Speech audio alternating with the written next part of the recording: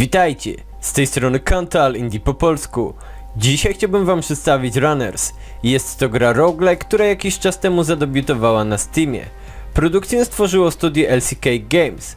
Jest ona naprawdę bardzo rozbudowana. Mamy tutaj 285 unikalnych czarów, 20 raz oraz klas postaci, 10 poziomów generowanych losowo, które są wypełnione przeciwnikami oraz 5 poziomów trudności, które przysporzą nam nie lada problemów. Zacznijmy sobie moi drodzy rozgrywkę, ale zanim do tego przejdziemy, chciałbym wam pokazać jeszcze bestiariusz. Mamy naprawdę całkiem pokaźny bestiariusz, 140 stworzeń, które będą chciały zabić naszego bohatera. Oczywiście nie wszystkie będą jakieś niesamowicie groźne, ale moi drodzy, tak jak na przykład tutaj te grube, duże szczury są naprawdę problematyczne.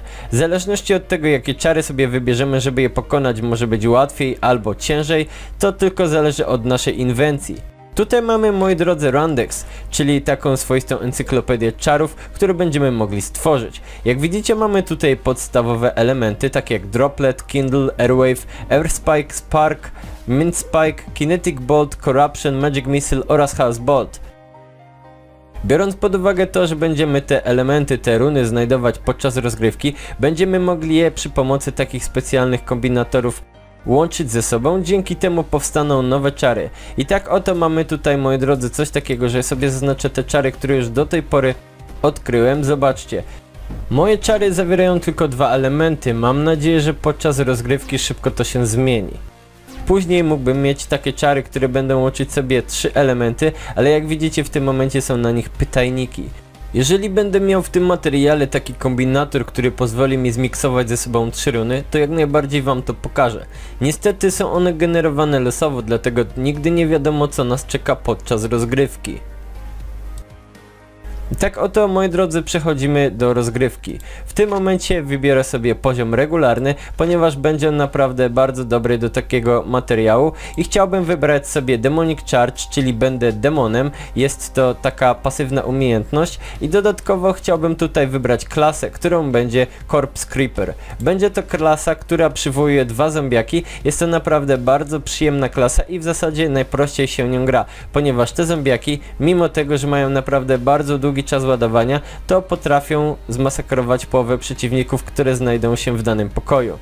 Do tego chciałbym sobie tutaj zabrać umiejętność, taki startowy, początkowy skill, czar, Spark, czyli taką błyskawicę, no bo to myślę, moi drodzy, będzie najłatwiejszy w tym momencie. I zaczynamy, oczywiście produkcja nas pyta, czy potwierdzamy i jesteśmy.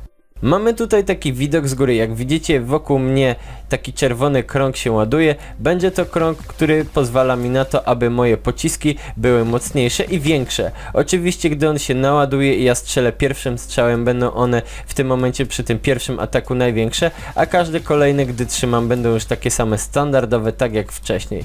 I tak oto mamy pierwszy pokój, w którym oczywiście masa stworzeń. Mamy tutaj szczury, które mnie atakują. Muszę wybić je wszystkie. Dzięki temu mam szansę na wylosowanie sobie runy i tak jak w tym momencie gra może mi upuścić takie serce, które oczywiście będzie zwiększać ilość życia mojego bohatera, ale do pewnego momentu. Jeżeli mam tutaj możliwość zebrania sobie takiego serca, jeżeli nie mam pełnego paska zdrowia, no to to zrobię, w innym wypadku nie mogę go zabrać jakby na zapas. Mamy tutaj oczywiście ograniczoną punktację życia, przez co mój bohater jest śmiertelny. Każda rozgrywka będzie brana pod uwagę w taki sposób, że jeżeli ja umrę, no to niestety będę musiał ponowić zupełnie od początku daną rozgrywkę. Nie mogę jej. E, przepraszam, mogę ją zapisać, ale nie mogę, moi drodzy, później, jeżeli umrę, już jej kontynuować. Mamy permadeath. No i tak oto mamy pierwszą runę. Co ta runa daje? Jest to runa ziemi. Zobaczcie, tutaj mamy pokazane jaki czar będziemy mogli z niej zrobić i ten czar będzie mógł robić takie powiedzmy podziemne głazy, aby atakować przeciwników. W zasadzie mogę go użyć, stworzę sobie go, ponieważ mamy tutaj miejsce na to. Lewy przycisk myszki to jest ta błyskawica i prawy przycisk myszki to jest ten czar głaz. I tak oto dwa te czary mogą być naraz. Będę sobie naciskać lewy i prawy przycisk myszki i jak widzicie tutaj ten czas odnawia się tak naprawdę niesamowicie szybko, dlatego też będą przeciwnicy bardzo szybko ginąć od tych czarów. I oto jeszcze moi drodzy mamy tutaj taki czar klasowy. Jest to przywołanie dwóch zombiaków, naprawdę bardzo mocny czas, tak, bardzo mocny czar, tak jak wcześniej mówiłem. I przejdziemy sobie znowu tutaj do tego ekwipunku. Tutaj mamy pokazane, moi drodzy, szereg statystyk. W tym momencie mamy pokazane, jakie runy zdobyłem. W zasadzie jeszcze żadnej w tym momencie nie mam tutaj tego poziomu do run. Ale moi drodzy, tutaj mamy te kombinatory. Możemy stworzyć sobie takie czary z dwóch run albo z trzech i dzięki temu będziemy mogli sobie naprawdę bardzo mocne kombinacje stworzyć i przez to zabijać przeciwników niesamowicie szybko, albo ewentualnie, jeżeli to będą jakieś czary, które miejmy nadzieję będą działać na naszego bohatera, to zwiększać jego umiejętności powiedzmy na określony czas, ponieważ w produkcji są czasem takie czary, które na przykład na określone 10-15 sekund dają takiego buffa do czarów, które mamy aktualnie używane. I tak oto kolejni przeciwnicy giną dość szybko, ponieważ ja mam naprawdę bardzo mocne czary i mamy kolejną runę. Ta runa będzie dawała zwiększone obrażenia i ja mogę sobie oczywiście kolejny czar z niej zrobić. W zasadzie nie było to przydatne i ja mogę ten czar sobie tutaj usunąć. Jeżeli mamy za dużo w ekwipunku, ponieważ ten ekwipunek tutaj nie ma żadnego suwaka, to musimy wszystko usunąć, co jest nam zbędne. Wiadomo, że rozgrywka będzie tutaj taka pojedyncza, w zasadzie w zależności od tego, jeżeli mamy takie dobre skille i potrafimy już grać to tak 40 minut max, a jeżeli mamy ochotę i mamy umiejętności, to możemy przejść produkcję te 10 poziomów. Nie wiem jeszcze moi drodzy ile to zajmuje, ale wydaje mi się, że za 2,5 godziny, 2 godziny, może coś takiego.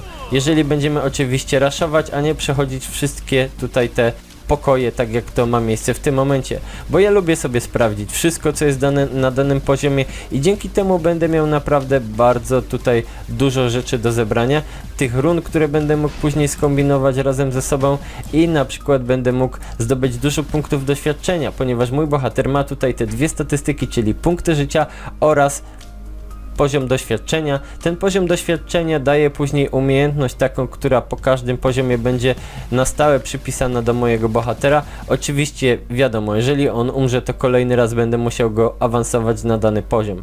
I tak oto moi drodzy mamy tutaj jeszcze pokazane właśnie takie szybciutkie menu, które sobie naciskam pod klawiszem Tab i mogę zobaczyć, gdzie dany pokój ma taką ikonkę, która będzie wskazywała na przykład zdrowie, czy położoną runę, schody na dół, czy bossa. Jest to naprawdę bardzo szybkie i przydatne, ponieważ nie mamy czasu na mapę, musimy sobie to wyłączyć i szybko, żeby to zniknęło z ekranu, ponieważ naprawdę bardzo to przeszkadza, ale całe szczęście, że po prostu twórcy dali możliwość, że możemy sobie to wy wyłączyć tą mapę na stałe. I tak oto mamy tutaj pokój z takim eventem. Jest to atak, który będę musiał przeżyć. Mam nadzieję, że te płomienne strzały naprawdę nie trafią mnie i jakoś to się nam uda. Zobaczmy. Muszę przeżyć 15 sekund, aby żadna z tych strzał mnie nie uderzyła.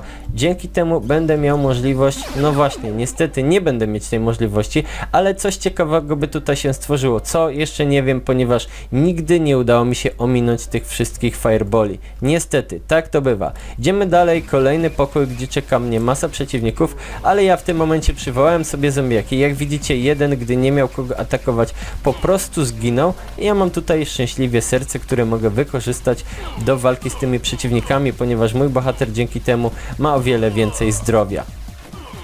Moi drodzy, rozgrywka jest naprawdę bardzo wciągająca. Ja za każdym razem, gdy włączam sobie tą produkcję, to szykuję się na rozgrywkę około jednej godziny, ponieważ naprawdę bardzo dużo poświęcam czasu na eksplorację tych wszystkich podziemi i w zasadzie ja już mam taką wytyczoną ścieżkę rozwoju mojej postaci. No i oczywiście mam tę ulubioną klasę, którą jest właśnie ten Corpse Creeper, ponieważ gra mi się nią najlepiej ta klasa naprawdę bardzo dużo na początku potrafi wytrzymać. Jeżeli już przechodzimy na przykład na drugi czy trzeci poziom, to jest naprawdę bardzo przyjemnie, ponieważ ona jest już w zasadzie ciekawie rozwinięta, mamy naprawdę bardzo dużo czarów i dzięki temu jest tak w miarę swobodnie. Zabijamy sobie te robaki, oczywiście te, które będą się do nas pod ziemią zbliżać również. Mam nadzieję, że nie zginę w tym momencie ponieważ mam nadzieję, moi drodzy, również, że dojdziemy sobie do jakiegoś pomieszczenia z bossem.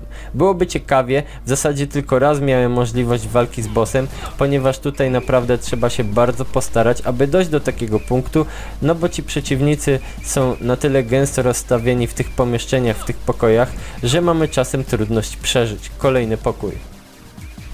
Tutaj mamy takiego żółtego szczura, który szczęśliwie dał mi ten kombajner. Dzięki temu będę mógł sobie stworzyć kolejny czar, który wykorzystam za chwilę. I jeszcze tutaj dwóch przeciwników. Ostatni szczur i jeszcze jeden. Aha, tutaj mamy gniazdo szczurów, muszę je rozwalić.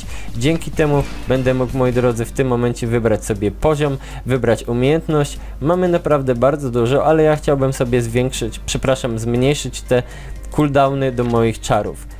Tym momencie chciałbym zakończyć ten materiał. Mam nadzieję, że macie już rozeznanie w produkcji Runners i wiecie, czy chcecie w nią zagrać, czy nie. Ja serdecznie produkcję polecam, ponieważ bardzo mi się podoba i jest niesamowicie wciągająca. Dzisiaj dziękuję za uwagę, pozdrawiam, cześć!